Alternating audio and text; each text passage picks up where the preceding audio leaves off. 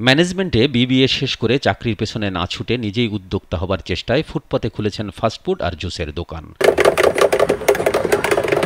তরুণ সজলের উপলব্ধি, চাকরি করে যে বেতন পাওয়া যাবে তার চেয়ে উদ্যোক্তা হলে সুযোগ থাকে স্বাধীনভাবে জীবন গড়ার। এতে নিজের পাশাপাশি অন্যদেরও কর্মসংস্থানের ব্যবস্থা করা যায়। চাকরি করলে মানে তিন মাসে আমার এক মাসে খরচ উঠবে না। স্ট্রিট ফুডের ব্যবসায় মাত্র ছয় মাসের অভিজ্ঞতা মতিউর রহমান সজলের। এই অল্প সময়ে ভালোভাবে হাত পাকিয়েছেন। কাস্টমারের অর্ডার পেলেই নিজের হাতে বানাচ্ছেন খাবার। শর্মা বানানোর জন্য নিজেই রুটি গরম করছেন মেরিনেট করা মুরগির মাংস গরম তাওয়ায় ভাজছেন। রুটিতে সস মাখিয়ে রান্না করা মুরগির মাংস দিয়ে যত্ন করে বানাচ্ছেন শর্মা। এরই মাঝে সজলের ফাস্টফুডের ভ্রাম্যমান দোকান কপ রেস্টুরেন্ট বেশ সুনাম কুড়িয়েছে। নিজেকে প্রতিষ্ঠা করেছেন সফল উদ্যোক্তা হিসেবে। আগেও এসেছি। ব্র্যান্ডেড রেস্টুরেন্টে খাই স্বাভাবিক ডাবল কিংবা ট্রিপল টেস্ট অনুযায়ী পারফেক্ট ফাস্টফুডের পাশাপাশি সজলের দোকানের জুস বেশ জনপ্রিয়তা পেয়েছে।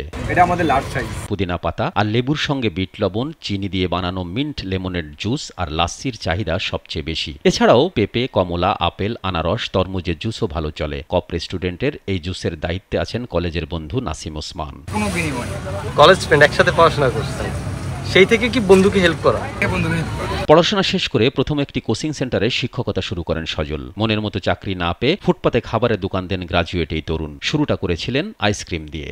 আইসক্রিমটা বলতে আসলে কারেন্টের একটু সমস্যা আছে যে পরিমাণ পাওয়ার দরকার পরিমাণ পাওয়ারটা এখন পাওয়া যাচ্ছে না এর জন্য কারেন্টের কারেন্টের জন্য সেটা অফ আছে। আইসক্রিমের চিন্তা বাদ দিয়ে ফাস্টফুড আর জুস বিক্রি করে ভালোই চলছে সজল। খাবারের গুণগত মান ঠিক রাখতে সজল সবসময়ই ব্র্যান্ডেড রুটি আর সস ব্যবহার করেন। এতে করে তার লাভ কম হলেও বিক্রি অনেক বেড়েছে। ফাস্টফুডিরা খাবারের মানের প্রশংসা করছেন।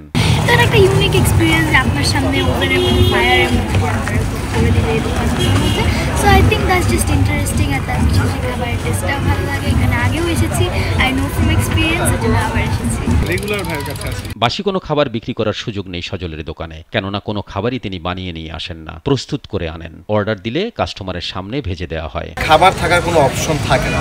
যেমন হলো অর্ডার দিলে এটা প্রসেস করে বানিয়ে দেওয়া হয়। চার লাখ টাকা বিনিয়োগ করে ফাস্টফুড বানানোর মেশিনারিজ কিনতে হয়েছে। এর বাইরেও কয়েক লাখ টাকা লগ্নি করেছেন সজল। তবে বেচা বিক্রি থেকে এখন যা আয় হচ্ছে তাতে তিনি খুশি। ফুটপাতে ব্যবসা করছেন বলে কিছু ঝুট ঝামেলা পোহাতে হয় তবে বৃষ্টি হলে বেশ বেগ পেতে হয়। খোলামেলা পরিবেশ অনেক বৃষ্টি বাজারের সময় কাস্টমার আসে না তখন সেল টেল খারাপ যায় অনেক। এই আর কি এমনি অন্য কোনো সমস্যা মিরপুরের আগারগাঁও নির্বাচন কমিশন ভবনের সামনে সংগীত রোডে সারি সারি অনেকগুলো খাবারের দোকান। সেখানেই বিকাল থেকে বেচা বিক্রি শুরু করেন সজল। খোলা রাস্তার ফুটপথে আটটি ছোট টেবিল বসিয়ে তার উপর হারিকেন দিয়ে সুন্দর একটি পরিবেশ তৈরি করা হয়। এটা কিনছে হলো দুইশো পাঁচ টাকা করে। কনসেপ্টটা আর কি অ্যাকচুয়ালি সবাই একটু ন্যাচারাল খোঁজা। সজলের ইচ্ছা আগামীতে ভালো মানের একটি রেস্টুরেন্ট দেওয়া, যেখানকার সব খাবার হবে ফ্রেশ তবে রেস্টুরেন্ট ব্যবসায় প্রয়োজন ব্যাপক অভিজ্ঞতা। খাবারের ব্যবসার অভিজ্ঞতার ঝুলিকে সমৃদ্ধ করতেই সজল বেছে নিয়েছেন ভ্রাম্যমান খাবারের দোকানকে।